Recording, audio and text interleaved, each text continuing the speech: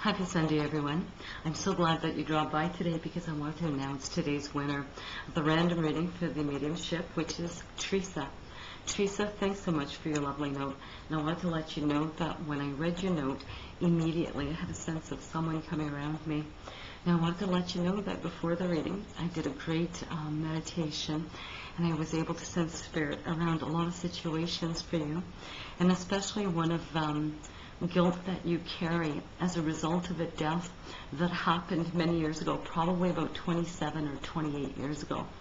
Now, along with this death comes a connection to a R.O., who's either a Robert, Ross, uh, it could be Rhonda, Ronald, I don't know who that person is, but very, very important for a J connection, who has passed approximately 26, 27 years ago. Now, I need to let you know that this person tells me that 8 is very important for you. August is extremely important. And that there are two celebrations coming up in August, one in September, and a short trip following that. Now, just to let you know also that someone else does come along with that and tells me that April is extremely important, or the number 4. Now, I need to let you know, Teresa, that around you, you've had a lot of um, loss, a lot of grief, a lot of, um, how would I say, when the telephone rang, you expected the worst. And I need to give you a message that you need to change that within you.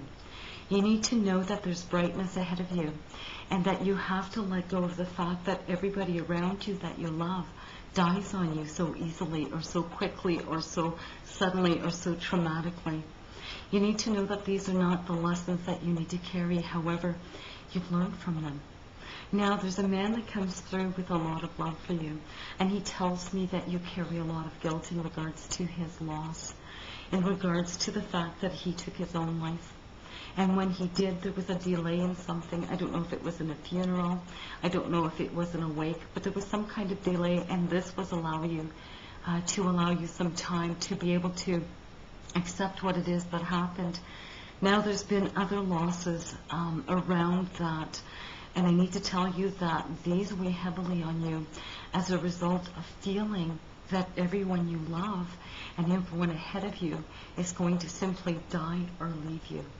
And so with the guilt that you hold in regards to this, you need to know that, first of all, Teresa, you were never responsible for these deaths. People didn't leave you or die on you because you weren't good or you didn't deserve to be loved. People just simply died because it was, was it, it was simply what was agreed in their lifetime. It's what they chose before they came here into this lifetime. You see, for me, souls are very highly evolved energies that know exactly which lessons they need to learn here on this earth.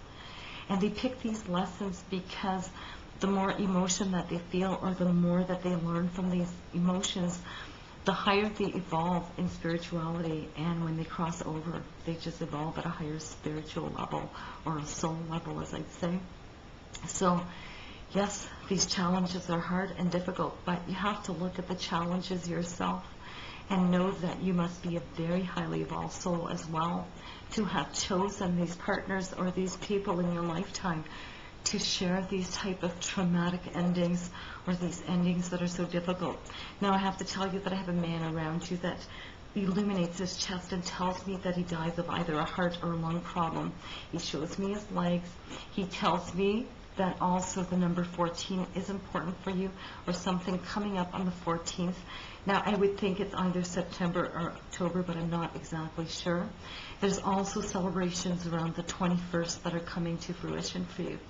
I have a lot of love and people that come around you to embrace you, but you need to start believing that they do.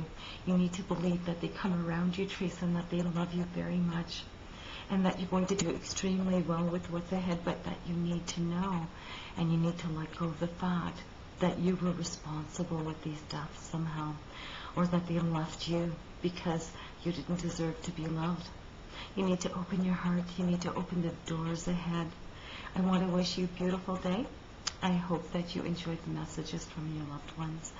And I hope that you could find it in yourself to forgive your actions and to forgive yourself and to move forward to what's ahead because you have beautiful light and love coming ahead and someone that is actually going to be sticking around for a very long time. So I hope that you have a great week ahead. If you have any questions, certainly send me a private email.